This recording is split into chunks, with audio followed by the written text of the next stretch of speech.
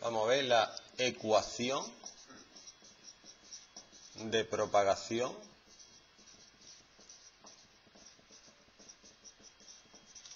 de una onda. Vamos a escribirla y vemos lo que significa cada cosa. La fórmula es I en función de x y t es igual a A. Por el seno. De 2pi por. T partido el periodo menos.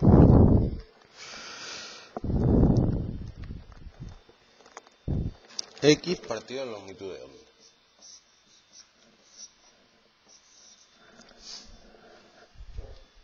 ¿Qué pasa? Va? Muy simple. Tú tienes una onda como esta.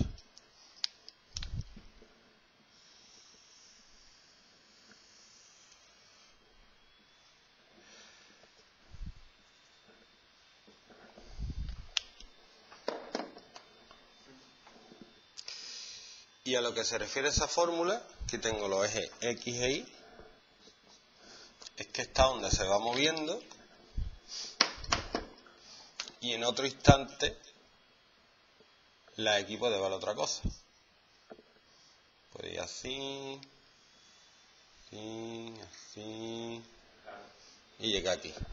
Entonces, conforme se va moviendo la onda, dependiendo del momento, la Y va a valer una cosa distinta y también depende de la posición de X. O sea, aquí no va a valer lo mismo que aquí en el mismo instante. Entonces depende de las dos, de la X y de la T. ¿Mm? Parámetro de la onda, la amplitud. La amplitud es el máximo valor que alcanza en el eje Y. ¿Mm? ¿Qué sería esto?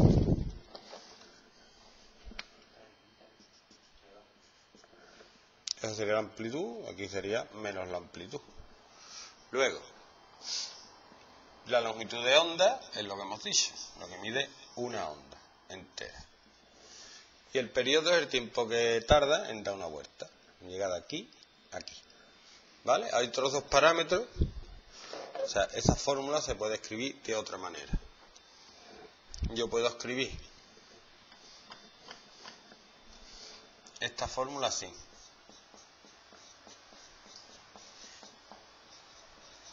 Si multiplico 2pi por esto, me queda 2pi t partido el periodo menos 2pi x partido la longitud de onda. Bueno, pues a 2pi partido el periodo es la velocidad angular, que ya lo sabíamos, y a 2pi partido la longitud de onda, que esto es nuevo, se le llama k, y eso es el número de ondas. Vamos a ponerlo aquí aparte. La velocidad angular es 2pi partido el periodo y es 2pi partido la longitud de onda. Esto se llama número de onda.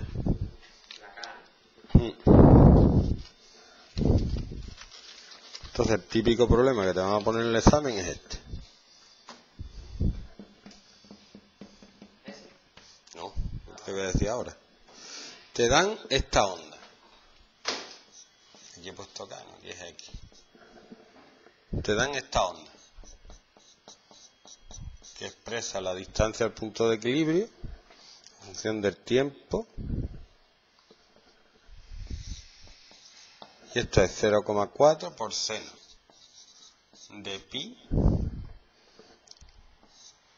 t partido 2 menos x partido 4.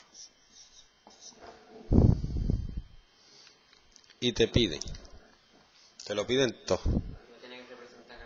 Te piden la amplitud, no, no, no, ¿qué va? Te piden la amplitud, la longitud de onda, el periodo, la frecuencia, solo decir los parámetros y la velocidad de propagación. Entonces ahí lo tenemos todo lo que necesitamos, ¿vale? Yo voy a hacer, ah, además, W y K, porque para mí es más cómodo. sacarlo a partir de W. Si yo meto el pi aquí dentro, me queda esta expresión.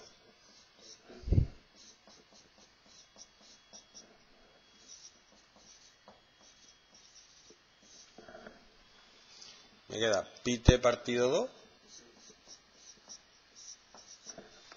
menos pi x partido 4. Entonces puedo decir que w es pi partido 2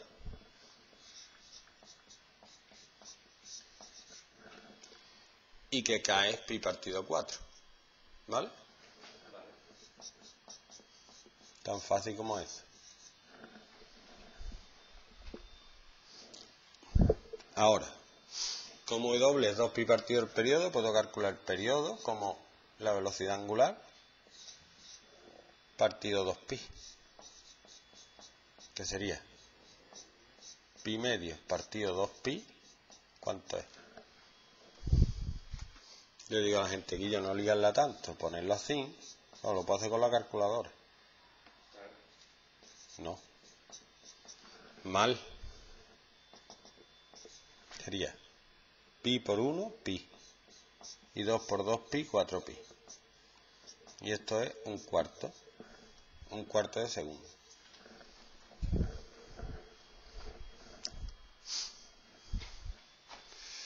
La longitud de onda. La longitud de onda es, despejando de aquí, 2pi partido k. Digo,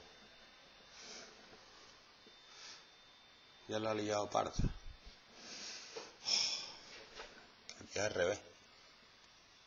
¿Sí o no? 2pi va arriba. Sería 2pi partido la velocidad angular. Sería 2pi partido pi medio. Sería 2pi dividido pi partido 2. Y como si fuera un 1 quedaría 4pi partido pi. 4 segundos. Y la longitud de onda sería 2pi partido k.